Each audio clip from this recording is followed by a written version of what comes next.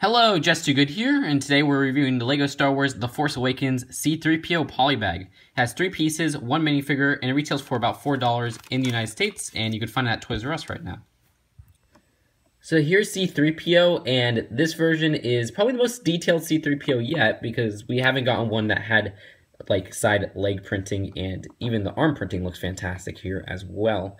Uh, this one varies from some of the older versions because he has that red arm right there, which is the biggest difference um, in the Force Awakens version of C-3PO. And from what I've seen of pictures that were released of C-3PO in the Force Awakens, this is very close to how he looks. It's interesting that he's not in any of the sets and only in this promo bag, which leads me to think that he won't be in any set very soon for The Force Awakens. Uh, but we'll have to see how that turns out because I know he is going to be in an original trilogy set in January 2016 with The Droid Escape. His face is nothing really new, or his head mold is nothing new, but it still looks really good and faithful as it always has. And I don't think they've changed up that head mold anyway since it was first released.